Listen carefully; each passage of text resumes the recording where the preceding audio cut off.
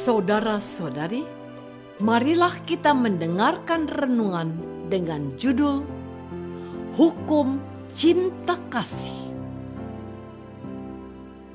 Yang berdasarkan pada Injil Markus bab 12 ayat 29 dan 30. Jawab Yesus, Hukum yang terutama ialah, dengarlah hai orang Israel, Tuhan Allah kita, Tuhan itu esa, kasihilah Tuhan Allahmu dengan segenap hatimu dan dengan segenap jiwamu dan dengan segenap akal budimu dan dengan segenap kekuatanmu dalam nama Bapa dan Putra dan Roh Kudus.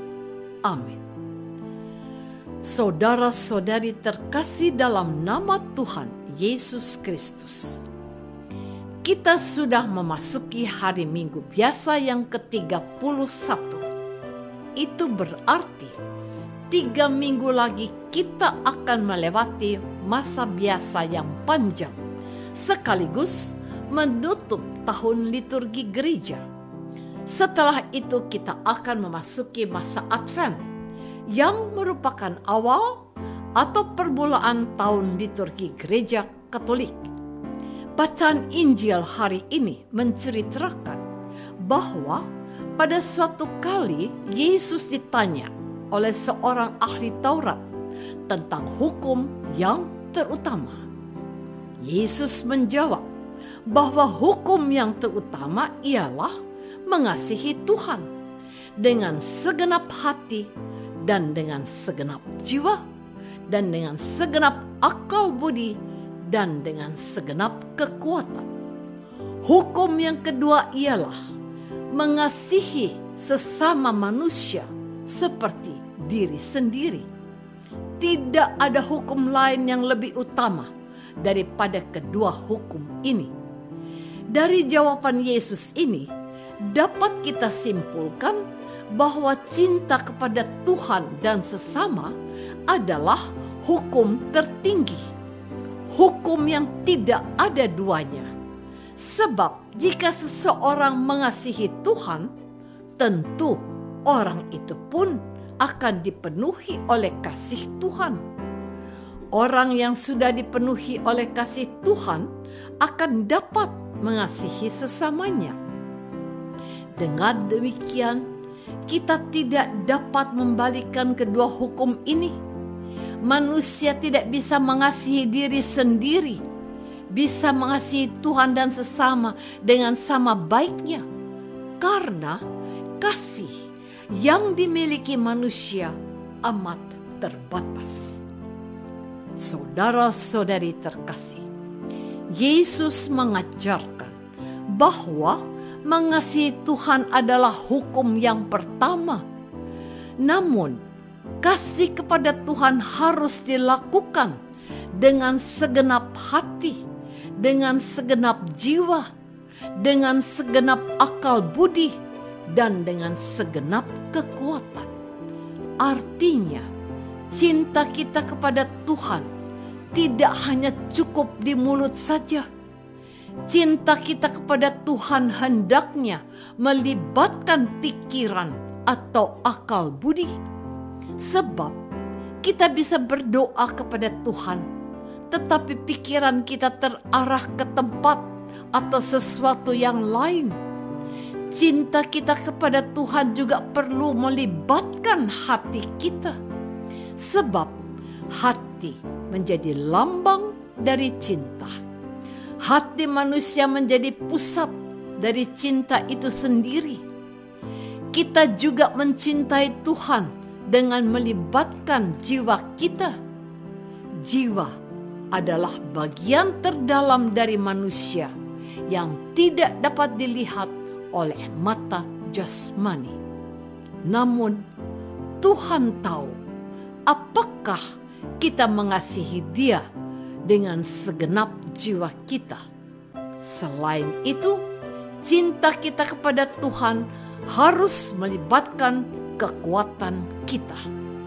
Artinya, kita harus berusaha sekuat tenaga untuk mencintai Tuhan. Saudara-saudari terkasih, hukum kedua yang sangat penting menurut Yesus adalah mengasihi sesama. Kita mengasihi sesama karena beberapa alasan. Pertama, Allah mengasihi manusia. Kalau Allah mengasihi manusia, maka tidak mungkin kita membenci apa yang dikasihi oleh Allah. Ibarat seorang pria mencinta seorang wanita. Jika pria itu benar-benar mencinta wanita tersebut, maka pria itu pasti akan berusaha mencintai apa saja yang dimiliki dan dicintai oleh wanita pujaannya. Hal yang sama berlaku dalam hubungan manusia dengan Tuhan. Kedua, Allah tidak kelihatan, hanya manusia saja yang kelihatan.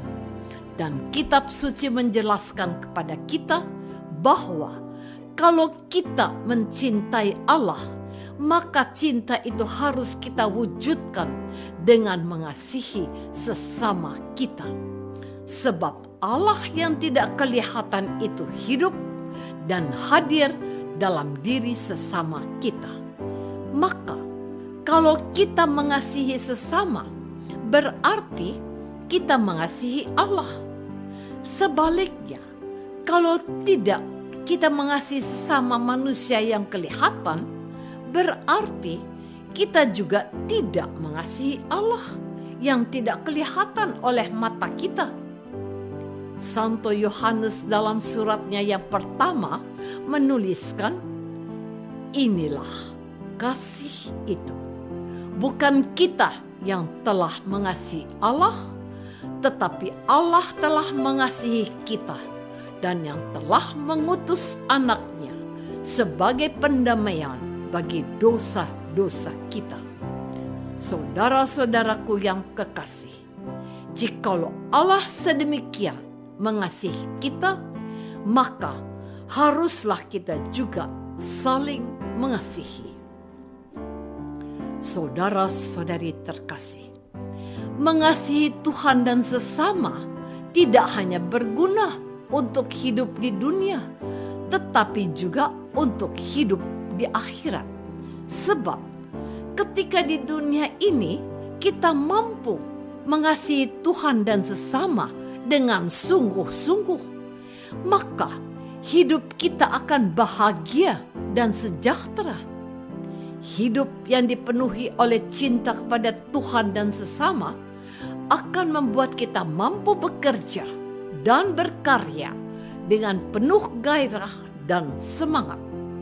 Sementara hidup yang tidak dipenuhi oleh cinta, baik kepada Tuhan maupun sesama, akan menjadi beban dalam menjalani hidup kita di dunia ini. Dan perlu kita ingat dan sadari bahwa cinta kita kepada Tuhan dan sesama dapat membawa kita kepada keselamatan. Sebab kalau kita mencintai Tuhan dan sesama, tentu kita akan tergerak dan terdorong untuk memberi dan menolong sesama manusia yang kelaparan, kehausan, dan membutuhkan bantuan kita. Dan perbuatan baik yang kita lakukan di dunia ini dengan menolong sesama yang menderita dan membutuhkan pertolongan justru akan menjadi modal bagi kita untuk masuk surga.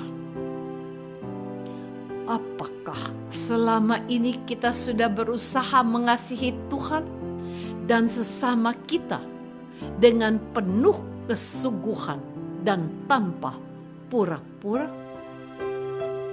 Marilah kita berdoa. Tuhan Yesus Kristus, Engkau mengajarkan kami untuk mengasihi Tuhan dengan segenap hati, segenap jiwa, segenap akal budi, dan segenap kekuatan. Engkau pun mengajarkan kami untuk mengasihi sesama. Curahkan cinta kasihmu agar kami bisa mengasihi engkau dan sesama kami. Doa ini kami persembahkan dalam nama Yesus, Tuhan dan pengantara kami. Amin. Semoga kita semua selalu dinaungi dan dibimbing oleh berkat Allah yang Maha Kuasa, Bapa dan Putra dan Roh Kudus. Amin.